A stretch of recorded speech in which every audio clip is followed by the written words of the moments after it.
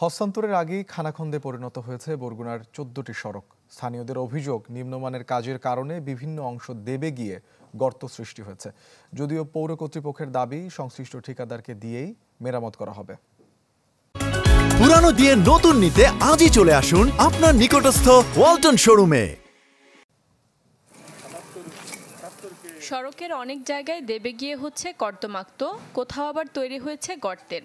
অথচ সড়কটি নির্মাণ করা হয়েছে দু মাস আগে। গুরুত্বপূর্ণ নগর অবকাঠামো উন্নয়ন প্রকল্পের আওতায় নির্মাণ করা হয় বরগুনা পৌরসভার চোদ্দটি সড়ক। স্থানীয়দের অভিযোগ, নিম্নমানের কাজ হওয়ায় এখনই চলাচলের অনুপযোগী হয়ে পড়েছে। কোনো পেজের কোনো সিস্টেম নাই। খোয়া খালি ডালি ভেঙ্গে পড়িয়ে গেছে। যানবাহন ভালো যাইতে পারে না।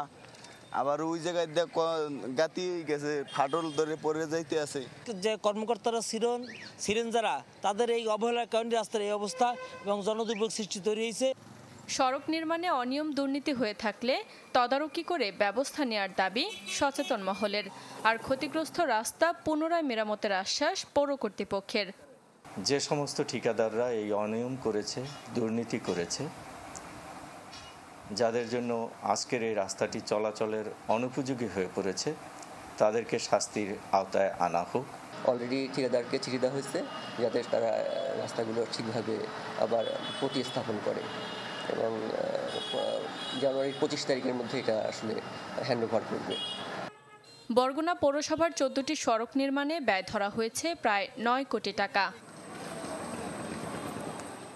Desk report channel twenty